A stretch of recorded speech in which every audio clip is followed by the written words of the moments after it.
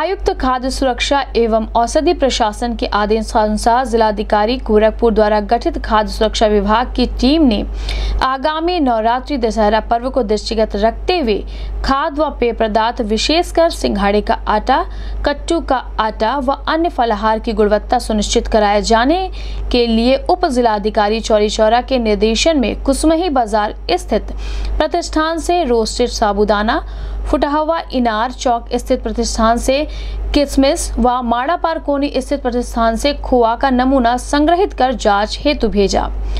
कोने स्थित प्रतिष्ठान पर पुरानी मिठाइयों को पिघलाकर नई मिठाइयाँ बनाई जा रही थी, जिसकी संपूर्ण मात्रा को टीम द्वारा नमूना लेने के पश्चात विनष्ट कर दिया गया।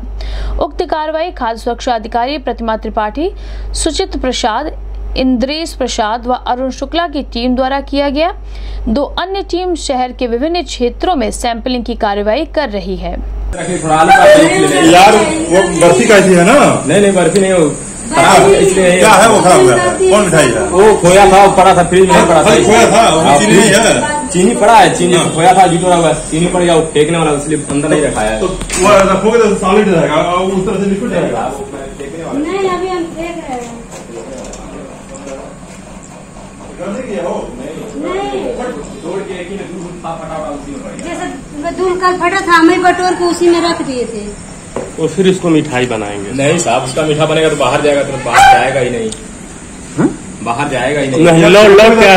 कढ़ाई में चिपकेगा। हो। नमकीन के लिए। क्या? नमकीन बनाने के लिए।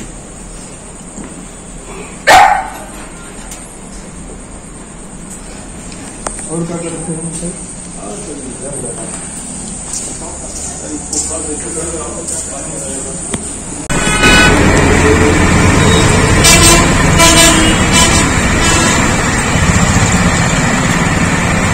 ये हो गया। कभी के लेते हैं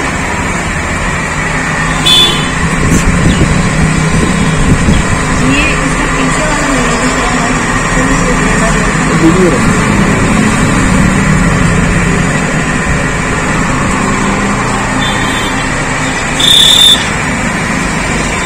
मैडम कोई परेशानी नहीं फंस जाएँगे।